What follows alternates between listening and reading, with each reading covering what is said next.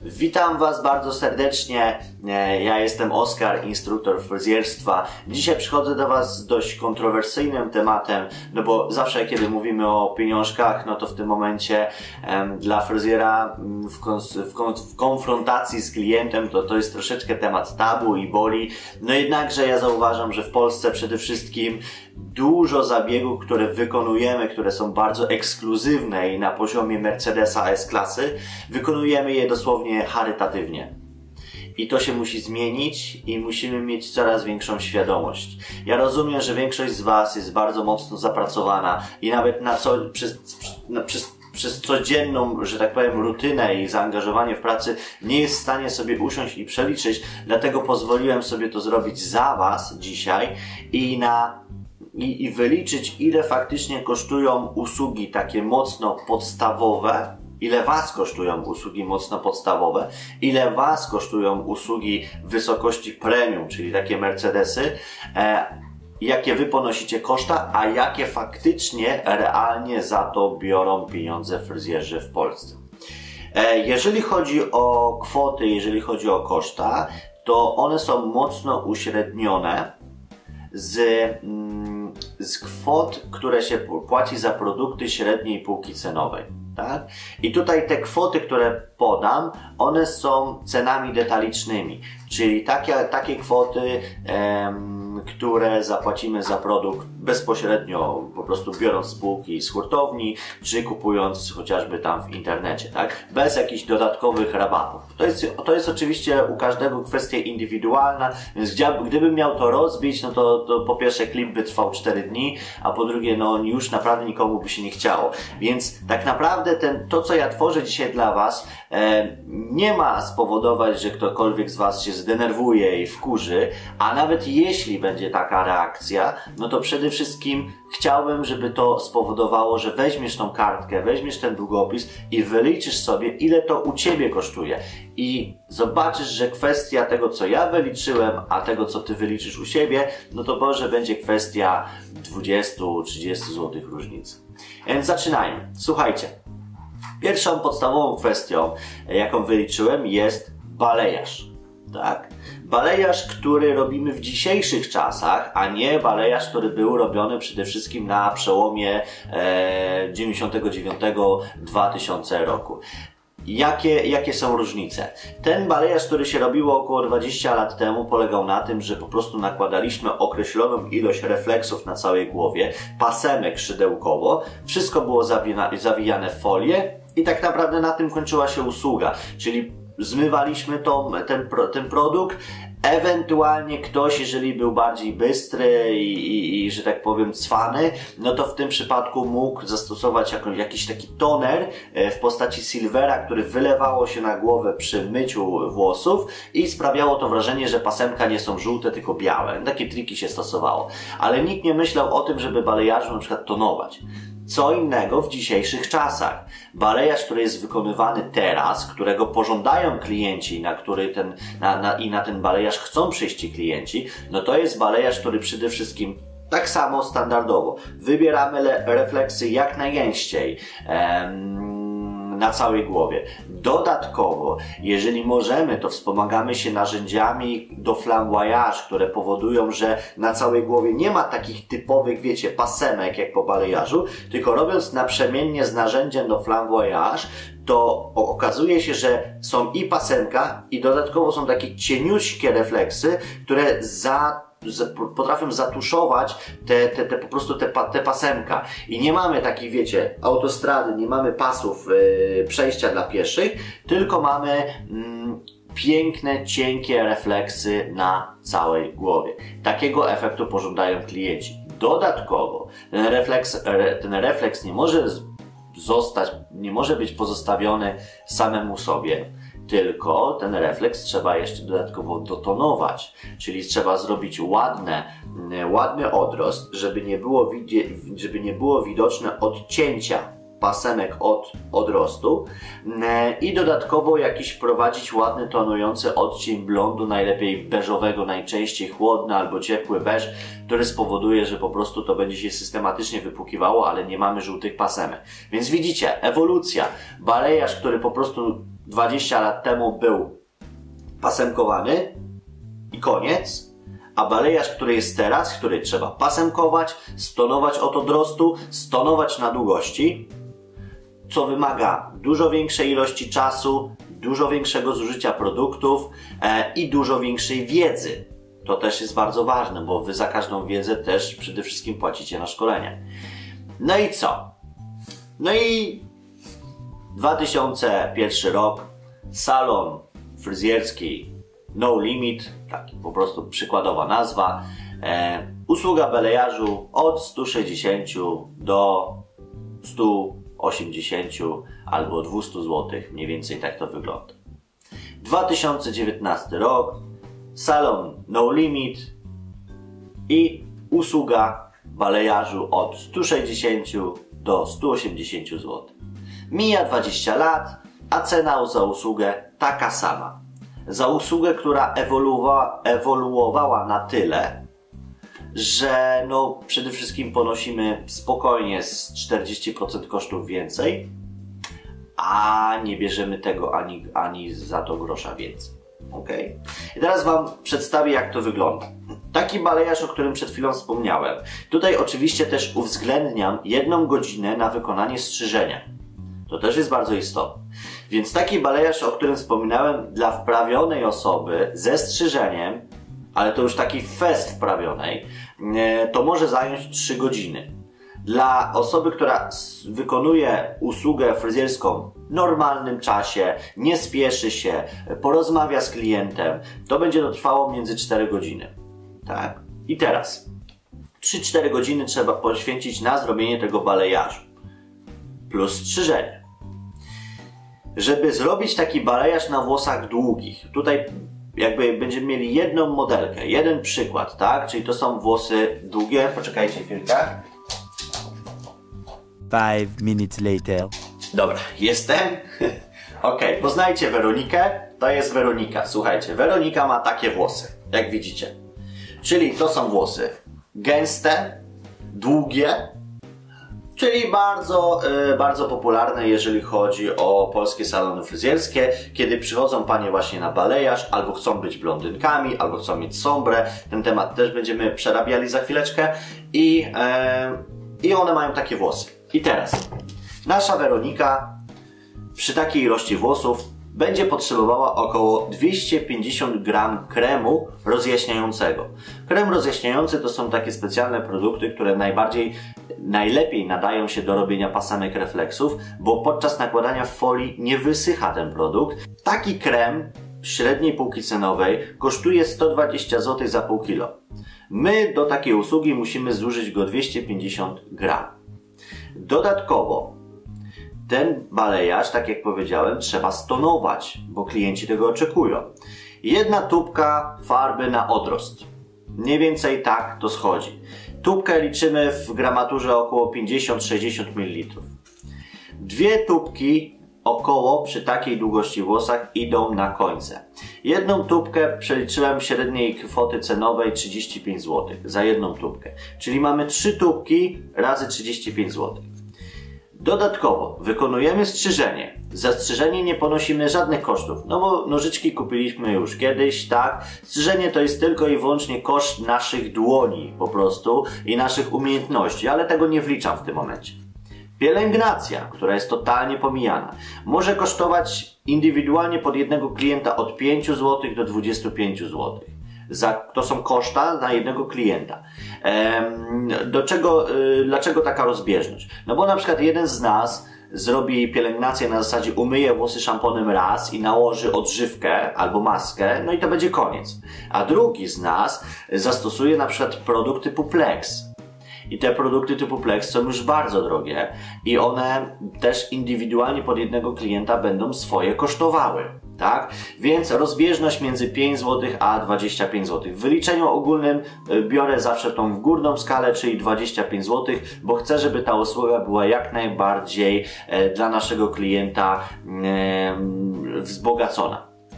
Stylizacja. Stylizacja, zużycie produktów, które przede wszystkim nie kończyło, nie powinno się kończyć na nałożeniu kremu na końcówki, bo to jest żadna stylizacja. Tylko stylizacja, ja mówię o tym, że po zmyciu usługi nakładamy porządnie produkt termiczny, który będzie osłaniał włosy przed wysuszeniem, żeby pani po prostu miała, miała miękkie w dotyku, błyszczące i nawilżone włosy cały czas. Dodatkowo ten produkt termiczny powinien być powiedziane, proszę pani, ten produkt termiczny to jest, jak ma pani sól, magę w kuchni, to obok jeszcze powinien stać produkt termiczny, jest tak obowiązkowy w dzisiejszych czasach, bo każdy suszy, każdy prostuje, każdy kręci i produkty termiczne naprawdę są obowiązkowe. Więc taka stylizacja to jest produkt termiczny, e, drugi to jest na przykład produkt krem do wygładzania, a trzeci to jest produkt nabłyszczający albo w sprayu, albo w kremie, po prostu który wykończy usługę. Trzy produkty, każdego produktu dajemy po kilka pompek, koszt około 5 zł jak najbardziej. E, no i Ostatnia kwestia, kawa, herbata i różne pierdoły. Ja tutaj zaliczyłem między 5 a 10 zł, no bo większość już z nas posiada ekspresy do kawy. Po pierwsze, ten ekspres kosztował niemało. Po drugie, kawa z tego ekspresu też musi być dobra, więc tą kawę trzeba kupować. Dodatkowo mleko. Często widzę ciasteczko. Często nie kończy się na jednej kawie, tylko jest kawa albo druga kawa, jeszcze tylko herbata. Jeżeli pani ma posiedzieć 4 godziny w salonie fryzjerskim, wątpię, żeby przez te 4 godziny wypiła jedną małą kawkę, tylko raczej kończy się na dwóch kawach albo na dwóch, trzech herbatach. Między 5 a 10 zł.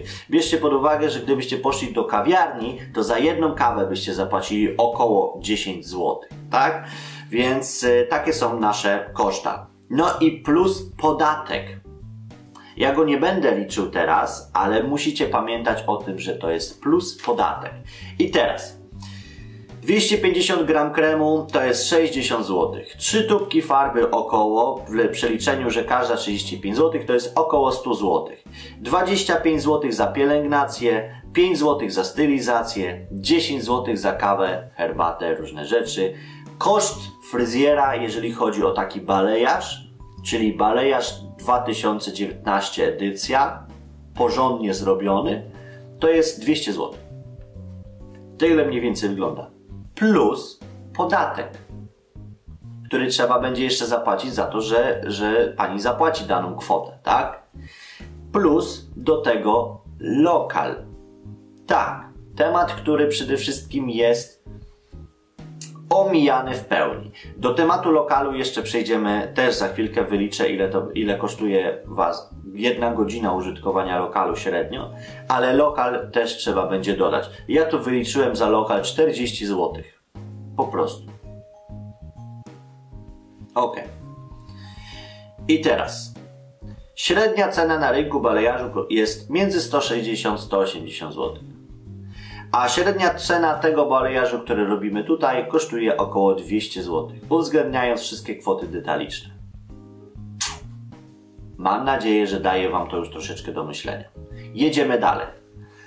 Sombre. Sombre, które jest w Polsce chyba no najczęściej wykorzy- wy wykonywaną usługą, jeżeli mówimy o refleksy rozjaśnienia, czyli częściowo ktoś unika balejarzu, bo na przykład go nie lubi, albo właśnie źle mu się kojarzy, gdzie ja uważam, że balejarz jest naprawdę cudownym rozwiązaniem, eee, to wykonujemy na przykład wtedy sombre. Zasadniczo dzisiejsze sombre y, od balejarzu różni się tym, że po prostu w sombre mamy wszystkie końce rozjaśnione, tak? Czyli jeżeli byśmy wzięli Weronikę i zrobili jej balejarz, to wiadomo na całej długości będzie miała refleksy, a jeżeli byśmy zrobili dzisiejsze sombre, no to mniej więcej od tego momentu będzie miała rozjaśnione końce, a tu też będzie miała refleks. E, wszystkie te balejarze, które są tak mocno instagramowe, one nie skupiają się na tym, żeby pani miała pięć pasemek od góry, tylko musi być gęsto rozjaśnione, będzie bardzo gęsto rozjaśnione, więc wiąże się to z tym, że dzisiejszy balejarz, e, dzisiejsze sombre to jest połączenie balejarzu z ombre. Tak to wygląda. No i teraz, jakie są koszta takiej usługi? E, jakie są nasze wartości? Przede wszystkim czas trwania takiej usługi to jest od 5 do 6 godzin ze strzyżeniem. 5-6 godzin. I to naprawdę tyle trwa. Na moich szkoleniach, kiedy robimy taki balejarz, nigdy nie kończymy wcześniej niż po około 5 godzinach. a czasami nawet zdarzały się takie sytuacje, że trwało to jeszcze dłużej niż 6 godzin, około 7. Więc można powiedzieć, że wykonywanie tej usługi to jest cały dzień pracy. I teraz, zużycie tego produktu. No do, tego, do tej usługi będziemy potrzebowali około 100, 150 gram kremu roześniającego, troszeczkę mniej niż przy balejarzu, bo mniej włosów też będzie roześnianych. Ehm, I 150 gram proszku roześniającego klasycznego. Krem roześniający do zrobienia balejarzu, a proszek roześniający do zrobienia ombre, czyli roześnienia na końcach. I wydawałoby się, że produktu roześniającego będzie mniej, a okazuje się, że jest tak naprawdę jeszcze więcej musimy zużyć do zrobienia sombre, bo mamy więcej włosów do roześnienia. Tak? Dodatkowo, tonowanie tego sombre jest obowiązkowe. I w tym przypadku trzy tubki farby jak najbardziej nam zejdą, czyli podobnie jak w przypadku balejarzu, tych samych włosów, jeżeli chodzi o Weronikę. Dodatkowo strzyżenie, gdzie nie ponosimy żadnych kosztów. Pielęgnacja między 5 a 25 zł, tu się nic nie zmienia. Stylizacja około 5 zł. Podatek, który trzeba będzie dodatkowo zapłacić. Kawa, herbata między 5 a 10 zł.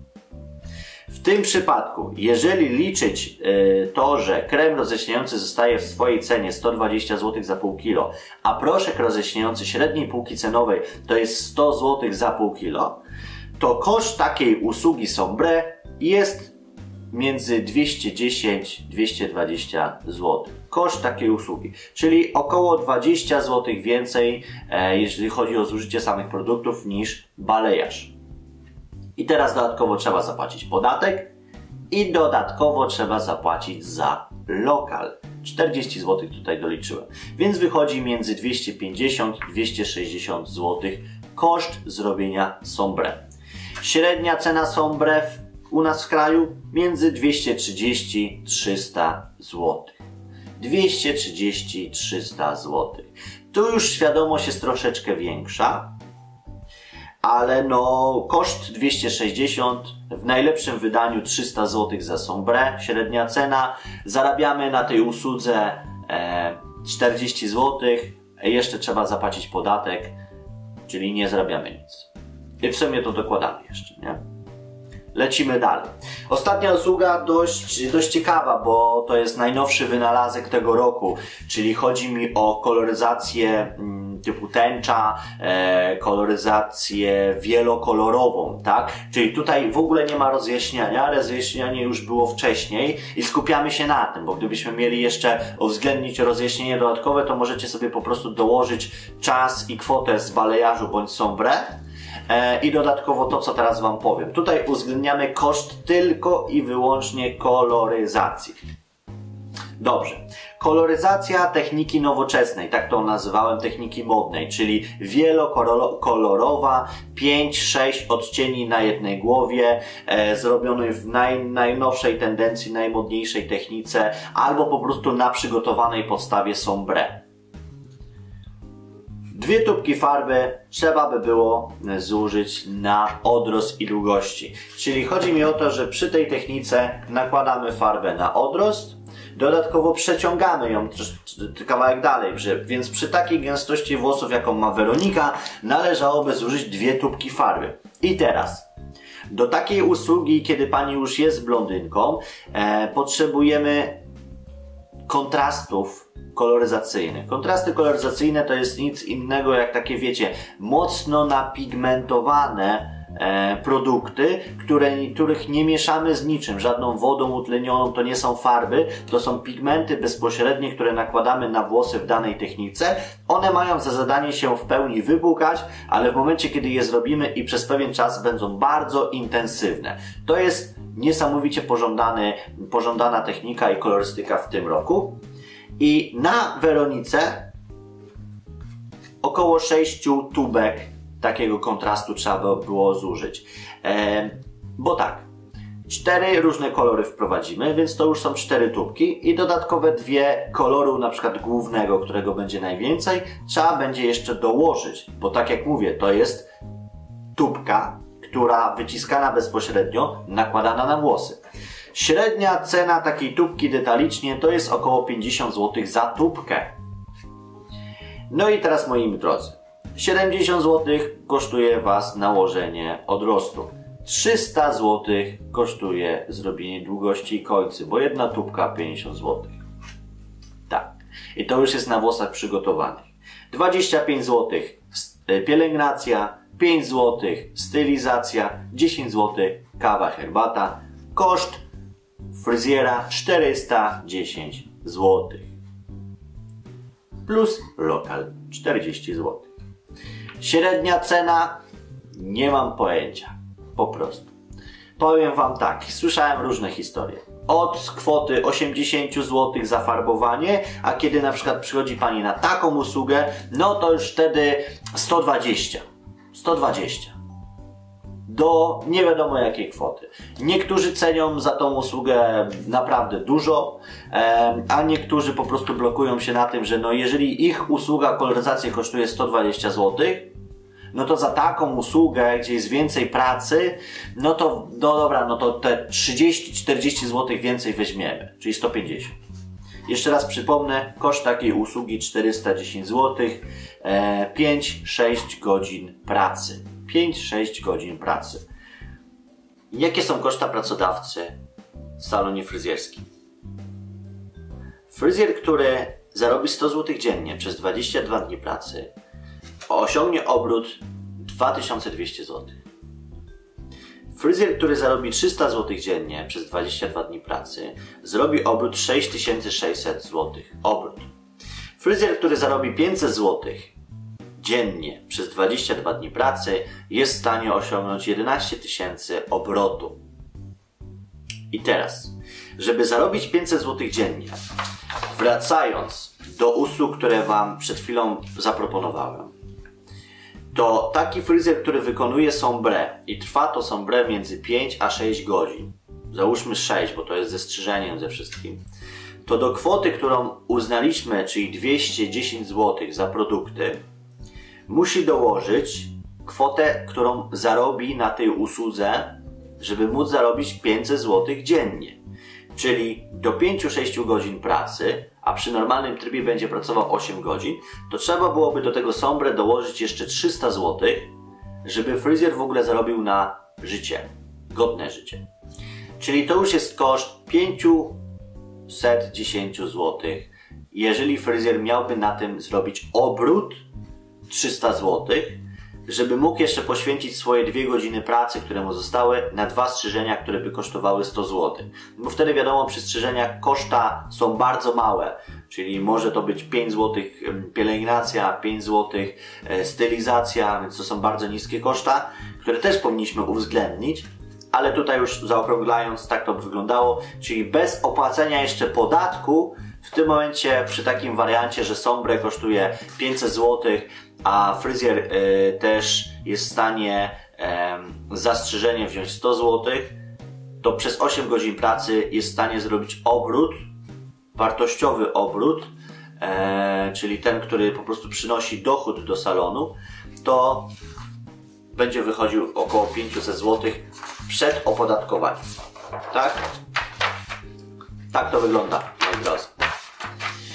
Ostatnia kwestia to lokal tutaj już e, pozwoliłem sobie na uśrednienie bardzo mocne, e, jakby z całego kraju, bo każdy z nas za ten lokal płaci inne kwoty, ale tutaj już jakby uwzględniłem tą cenę za lokal ze wszystkimi opłatami, ze wszystkimi e, prowizjami, e, z opłatą za prąd, wodę, wywóz śmieci, za wszystko, tak? Za media, bo to też jest bardzo ważne.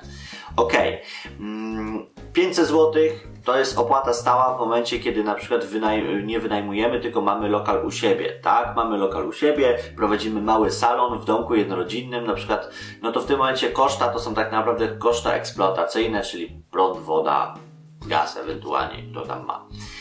Cena 15 tysięcy to jest kwota już y, w takich miejscach, gdzie na przykład przychodzimy do do galerii handlowej bardzo dobrze prosperującej, tam jest salon fryzjerski, tam faktycznie te kwoty za lokal są kosmiczne i jeżeli nieraz się pojawiłeś i zobaczyłeś, że tam jest na przykład wysoka cena za usługę, no to już też jakby miej świadomość tego, że ci ci menadżerowie tego salonu też mają tego świadomość, że ta cena po prostu za lokal, ona startuje często od 15 tysięcy w górę. To nie jest tak, że to jest stricte 15 tysięcy.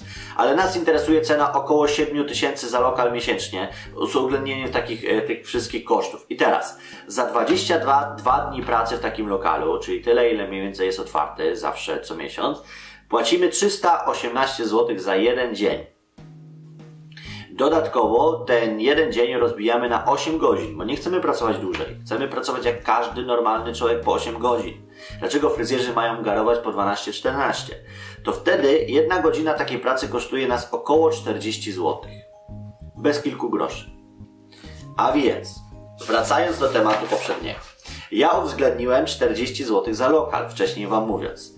Ale gdybym miał być szczery i dosadny, to wracając do usługi Sombre, tej konkretnej usługi Sombre, 200 zł, 210 zł za produkt. 40 zł za godzinę lokalu, 6 razy 4, bo 6 godzin to trwa, 240 zł. Czyli 410 plus 240, 450 zł. Plus zarobek dla fryzjera, żeby miał normalną wypłatę, to plus 300. I nagle się okazuje, że mamy kwotę rzędu 700 zł. Tak to wygląda. Tyle moi drodzy, jeżeli chodzi o dzisiejsze spotkanie. Ja już Was serdecznie zapraszam na kolejny odcinek, który pojawi się naprawdę niebawem, bo chcę e, tutaj z tą serią ruszyć bardzo konkretnie. E, następny odcinek będzie się nazywał Jak wypromować siebie w salonie fryzjerskim. Dokładnie. Jak wypromować siebie, a nie salon fryzjerski. Często popełniamy ten błąd, że promujemy te cztery ściany. Promujemy myjnie, fotele, a nie promujemy nas, własnych, najważniejszych osób, które są w tym danym miejscu, czyli fryzjerzy. I Mam dla Was kilka, mam nadzieję, fajnych rad, które Wam w tym zupełnie, zupełnie pomogą. Tak więc dziękuję Wam bardzo. E, tak jak mówiłem, kontrowersyjnie, bez uśmiechu na twarzy, z radości, raczej e, z przemyśleniami, z, z, z tym, żebyście sobie faktycznie wzięli ten notesik, ten długopis i wyliczyli wszystko od początku do końca i zobaczyli, na co możemy sobie pozwolić, na jakie usługi możemy sobie pozwolić, a jakie lepiej na przykład odpuścić, tak? Ok, dziękuję Wam bardzo, trzymajcie się, na razie, hej.